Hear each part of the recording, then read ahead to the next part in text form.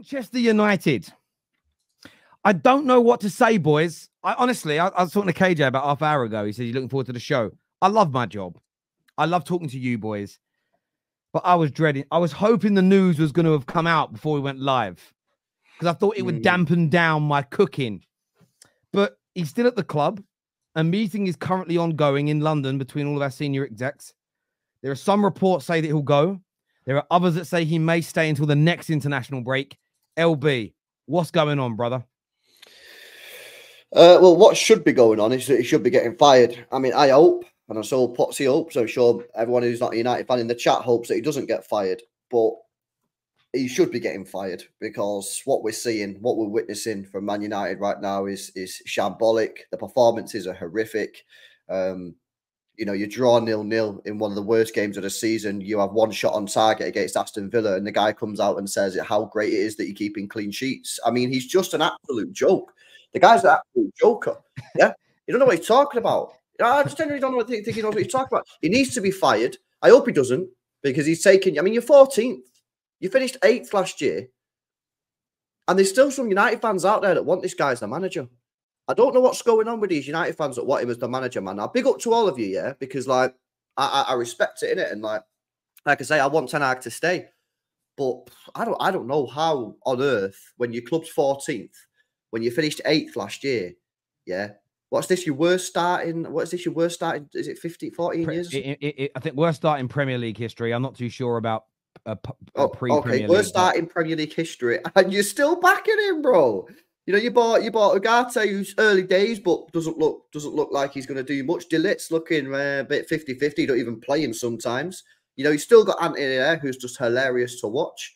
You know I mean, like, I, I, I, I can't believe he's still here. I, re- I, he should have been sacked a long time ago. So yeah, I think they'll sack him because I'm I'm I'm giving the guys credit, and I think they have brain cells. But um, maybe they'll give him one more month. Maybe they'll give him one more month and say you've got until November. If you don't turn it around, you're gone. Uh, I don't I don't know. But if it would have been me, I would have sacked this guy 18 months ago. Yeah, I think they're. Uh, I think they're holding on to him, aren't they? I think we would have been told by now if he'd have been sacked. I mean, if there's a meeting going on, how long's this meeting? Normally, it's pack your bags, off you go, and we announce it. If it's taking longer than that, it looks like he's going to be given an ultimatum of you need to get this amount of results in the next few weeks.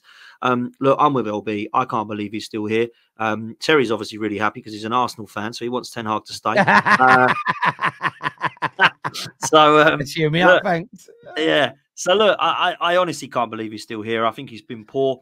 I don't see a style of play in three seasons. The things that's kept him here is trophies, and trophies is what matters in football. The one thing I will say is competing and winning trophies is definitely the two things that you need, right? Because otherwise, you just be an Everton and go, "Oh my God, we won a trophy!" Now to keep the manager and give him a statue. Manchester United are not, are not that team. Manchester United should be at the very top. They're one of the greatest clubs. They're still one of the biggest clubs. They just don't act like a big club, and I think the new structure has got to now bring that back. The first thing they need to do is get rid of this guy. And if they get rid of this guy and they bring in Ruud to the interim and they go and get a Ruben Amorim, cool. But it looks like they want to go and get a manager from what we're hearing. Thomas Tuchel being mentioned as well was one that they're looking at potentially. I think they need somebody like that with a CV that says, look, I can take a team and I can do this with it. Ruben Amorim, a little bit of a different one, more of an Arteta type thing, although obviously he's managed before Arteta did at a good level. Um, I think he has a style of football, that's clear. I think he's definitely improved some of the talent over at Sporting Lisbon and competed. Um, but whether or not people want him or not, you need to get rid of this guy.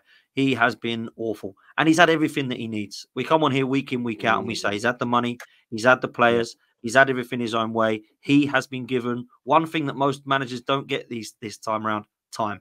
Three seasons, still no style of play, no improved results. When you buy that many defenders and your best defender is Jonny Evans, there's problems. Yeah. So Bro, it's facts. You, you know, I'm- I've got I've got the things up here, yeah. So this is according to Transfermarkt, right? So don't cut me if it's wrong. Since he's been at United, he's signed 21 players, um, and a total expenditure of 660 million euros. That's Transfermarkt data, not my my, my information. Yeah, right? yeah, yeah. I'm not being funny, right? This is the third season. Man United should be title contenders. If you lose your next two games, you, you might you'll be in a relegation battle after nine mate, matches.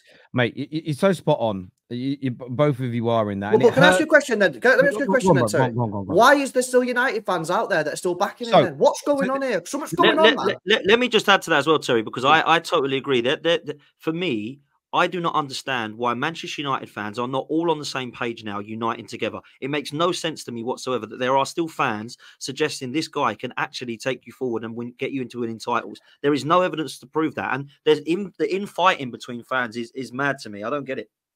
So yeah, great question from both of you. So I think there's a few things to discuss before we get onto Ineos and why he's still here. The fans. What I find hilarious is the two groups of fans that are really positive about him staying and really positive about him, uh, neg- uh, really forceful in him going. Typically speaking, the two groups who, for every single manager, have either been completely in or completely out of that individual, and they just switch. They sort of switch like this each time. It's a different guy, whether they like him or they don't. But both those groups have been completely wrong every single fucking time. It's been a manager in, manager out debate. It's all about how we're sacking the manager was never going to fix us by itself. Sacking Ten Hag now doesn't fix Man United without a longer term plan, without being ruthless at the highest level, and over a period of time building a very competent, highly technical, very motivated squad. And I think that too many Man United fans focus on the low hanging fruit of sack the manager. There's, there's, there's an element of keep a manager if you see progression. I can understand that. Tuchel did an interview. I don't know when it was from, but I saw a clip today where he said that everybody talks about football is about a process and uh, your performances and the quality of football. But he sort of laughed and said, "My experience having been at, at Bayern Munich, Chelsea, Dortmund, Mainz, he went results matter more than the cold hard light of day when you're brought into an office and told you're going to be sacked, or you're brought into an office and told you're getting a new deal. It's the results they all talk to you about." As opposed to the performance. He said, but the performances are, underlying good. But I understand saying stick with Ten Hag if we're not winning, but the performances are there. I there's logic in that. I understand sacking a manager if you and being so passionate about it and talking about this squad's good enough to compete and go to the top. I understand being so focused on that if we have a really good squad and we're in a good space. But I still think both groups I'm missing the point that it's going to take years to fix us still. That that's the bit that I find funny is they're not really focused on the true problem still after 11 years. I don't get why people are backing him. Uh, that question, LB, I cannot fathom. I think what we now see on social media is like the battle of ideologies. It's I'm so desperate to be right, I'm just going to die on this hill. And it's not just my club, all fan bases do it. And I don't like either group in terms of surely you've got to be more balanced as a human being than this. And, it, and it's staggering to me why he's still getting. I had a friend of mine, a good friend of mine, who's a season ticket holder, send me a long message. I haven't even read half of it yet. Full support of him today. I read about a third of it, and I'm just like, I ain't got the time, Sid. I'm gonna read it. You're probably watching, bro, and I don't mean it rudely. I'm gonna watch. I'm gonna read it properly later and digest it. But my initial thoughts when he said to me, "I still think we, we're doing it too early." I'm like, bro, I know once in our history that our fans wanted a manager sacked and we kept Fergie and he went on to do greatness. But I'm like, bro, I think that's the that's that's the exception to the rule. Yeah, Did you get where I'm coming from? Yeah, no, you, you spot on. And I think for me, it's it's weird. we I saw someone tweet the other day. Arteta is causing problems to Man United indirectly. He hasn't won a major trophy yet since his team's been playing well, right? But it looks like he might. So everybody has this stick with him, stick with the process, stick with the process. It will work. I think that again, I think Arteta might be an anomaly. How many other times as a manager with the experience of Ten Hag, been at a big club, been given this amount of money, and will base that money on you can sort of use inflation because no one was spending that amount of money 10, 20, 30 years ago, struggled in the first three, three and a half years, but then gone on to be a resounding, consistent success I don't know who. No one can show me the, the, examples of this, and that's exactly what I was saying at the end of last season. It wasn't just about winning the trophy. So the infighting there is crazy. When it comes to Man United decision making, and I know we said backstage, people have a real problem with hope nowadays. Like I, I get people seem to want to cook you for having hope in something, hoping that it works out, hoping that it's a good thing you're doing. It, it seems to be weird that people are calling you out for hope. I don't quite get where that's come from. But why I'm hoping this meeting is taking so long is I hope they're not discussing whether we should or shouldn't be sacking Ten Hag. I hope what's being discussed is these are the four or five candidates. This is who we've reached out to. This is their plans. This is how long it would take to get them in. This would be the compensation packages.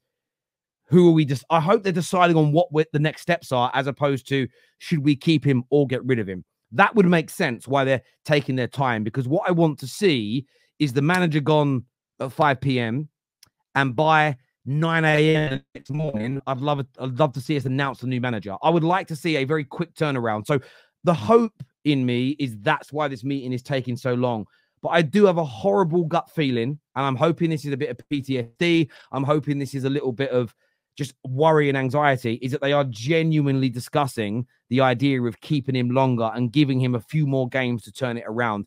And the reason why that worries me is we have hired some very capable individuals that have a very good CVs and very good words have been said about them. Every underlying number, every underlying metric, every story that comes out, there, there is. I don't see where the hope is. I don't see where the the beacon of hope, the bright, the, the, the bright light in the distance that you can head towards, the horizon. Where is it? No one is, and that's the one thing I say about all the people still backing him. Don't quote Fergie.